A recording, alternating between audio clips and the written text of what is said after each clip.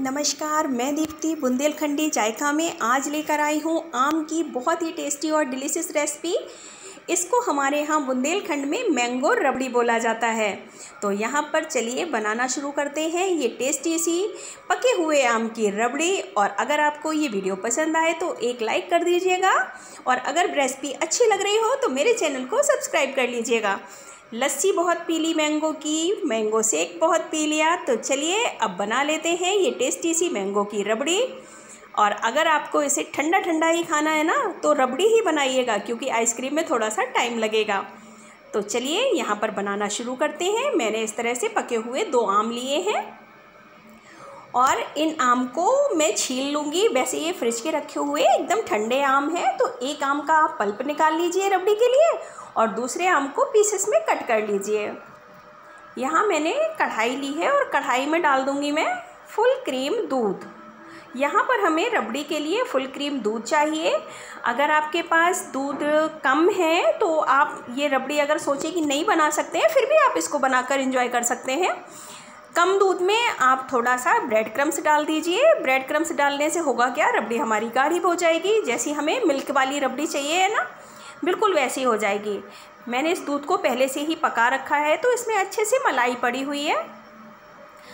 अभी इसको मैं और पकाऊँगी ताकि ये बढ़िया सी गाढ़ी सी रबड़ी हमारी बनकर तैयार हो जाए। फुल क्रीम दूध है तो इसमें हल्की सी मिठास भी है।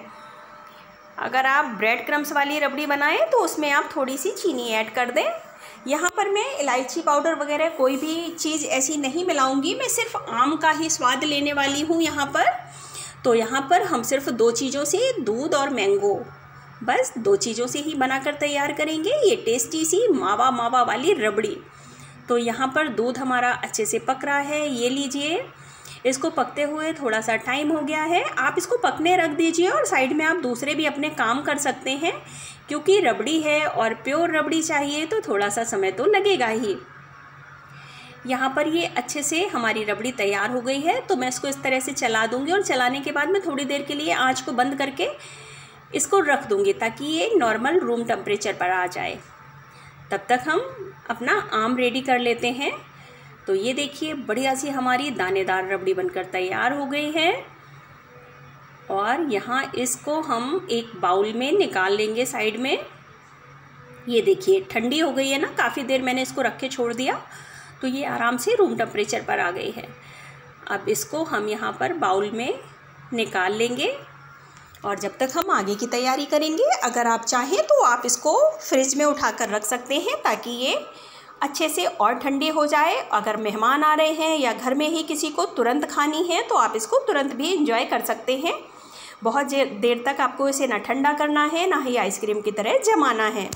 तो यहाँ पर हमारी रबड़ी एकदम रेडी हो गई है। इसको मैं साइड में रख दूँगी और आम को हम यहाँ पर ले लेंगे। तो आम को हमें छील लेना है और इस तरह से एक कारण और भी है रबड़ी को ठंडा करने का, क्योंकि अगर आप गरम रबड़ी में मैंगो मिक्स करेंगे तो हो सकता है कि वो फट जाए। दूध हमारा, क्योंकि वैसे तो मैंगो मीठा है, पर कभी कभी हल्की सी खटास भी होती है मैंगो में। और अगर उस खटास की वजह से फट गया ना तो फिर हमारी रबड़ी भी बेस्वाद हो जाएगी और मैंगो में भी हमें कोई टेस्ट नहीं आएगा। इस तरह से देखिए, ये पका हुआ तो है अच्छे से, मैंने छील लिया, छीलने के बाद इसको हम कट करेंगे। और मिक्सी के जार में डालकर इसका हमें पल्प बनाना है। फाइन सा बिल्कुल पल्प बना लीजिए। किसी तरह का कोई लम्स नहीं रहना चाहिए। यहाँ पर मैं इसमें थोड़ी सी बस चीनी ऐड करूँगी। मैंने यहाँ थोड़ा सा पीस लेकर छोटे छोटे टुकड़े कट कर लिए हैं। थोड़ी सी चीनी ऐड करूँगी। दूध वगैरह कुछ भी नहीं मिलाऊँगी क्योंकि मुझे गाढ़ा सा पल्प चाहिए है। अगर हम पतला कर देंगे इसको तो फिर उसमें वो टेस्ट नहीं आएगा जो हमें मावा वाली रबड़ी जैसा चाहिए है। तो यहाँ पर मैं बहुत ही थोड़ी सी चीनी ऐड कर रही हूँ। वैसे मीठा आप अपने स्वाद के अनुसार कर सकते हैं।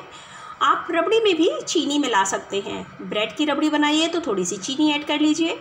मिल्क की बना रहे हैं सारी तो फिर आप उसमें चीनी मत डालिए क्योंकि हल्की सी मिठास होती है, फिर ज़्यादा मीठा हो जाएगा। अब यहाँ पर हमारा मैंगो का पल्प भी रेडी हो गया है और रबड़ी भी। तो इसको हम एक बाउल में रख लेंगे निकाल कर सेट करके। थोड़ा सा आप अपने हिसाब से जैसे भी आपकी मर्ज़ी, आप इसको सेट करके रख सकते हो।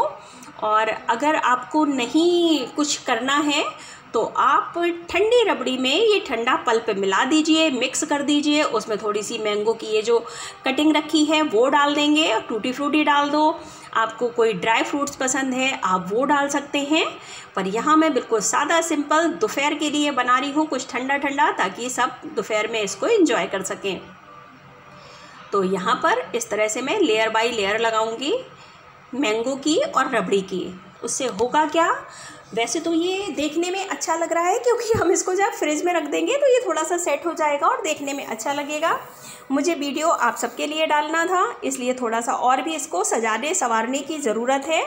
वैसे तो आप रबड़ी और मैंगो मिक्स कर दीजिए और बस अच्छे से चम्मच से उसको बढ़िया सा मिक्स करेंगे और ठंडा करने के बाद इंजॉय कर सकते हैं। अगर कोई आ रहा है तो आप इसको बना कर रख दीजिए।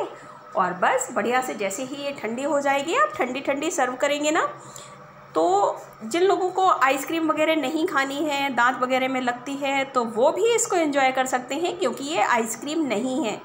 ये है मैंगो मावा रबड़ी। तो यहाँ पर एक एक लेयर में लगाती जा रही हूँ। ये देखिए, बढ़िया सा इसको इस तरह से फैला देंगे। और चम्मच से सेट करते जाएँगे। और गाढ़ा मैंने इसलिए रखा है क्योंकि अगर आप बहुत ज़्यादा पतला कर देंगे तो लिक्विड आपस में मिक्स हो जाएँगे। और जैसा हमें चाहिए वैसा नहीं होगा। अब यहाँ पर छोटे छोटे मैंगो के पीस जो मैंने कट करके रखे थे, उनसे हम डेकोरेट कर देंगे। और थोड़ा सा हम यहाँ पर टूटी फ्रूटी भी डालेंगे क्योंकि येलो वाइट और रेड अच्छा कॉम्बिनेसन है ना? ये दोनों ही चीज़ें बच्चों को बहुत अच्छी लगती हैं। तो ये लीजिए, मैंने यहाँ पर इस तरह से इसको अच्छे से डेकोरेट कर दिया है। और ये देखिए, सादा बाउल और डेकोरेट किया हुआ बाउल, कितना फ़र्क आ जाता है दोनों में। सिर्फ़ टूटी फ्रूटी से ही इतना अंतर आ गया है उसमें। अब यहाँ पर ये उनके लिए मैं तैयार कर रही हूँ, जिनको शुगर फ्री चाहिए मतलब बहुत कम लाइट मीठा चाहिए। और रबड़ी खानी है तो रबड़ी नीचे मैंने ज़्यादा सी यहाँ पर ले ली है और बहुत थोड़ा थोड़ा सा मैंगो का पल्प मैं ऊपर रख रही हूँ, टूटी फ्रूटी मैंगो की स्लाइस कट करके रख दूँगी, क्योंकि ये हल्की सी मिठास लेकर आएँगे जिनको चीनी वगैरह ज़्यादा नहीं खानी है, उनके लिए मैं बना रही हूँ। तो यहाँ पर दो लोग ऐसे आने वाले हैं, मेरे हस्बैंड के मित्र जिनको थोड़ा सा चीनी वगैरह से परहेज़ है, शुगर वगैरह है तो ये उनके लिए बना दी मैंने सादा सी। बस थोड़ा सा इस तरह से रख के मैंगो, क्योंकि रबड़ी इसमें ज़्यादा है।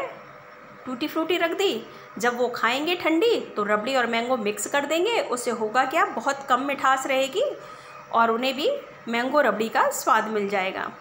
ये लीजिए, मैंने बस तीस मिनट के लिए फ्रिज में रखा था, और ये बढ़िया से हमारी ठंडी हो गई है।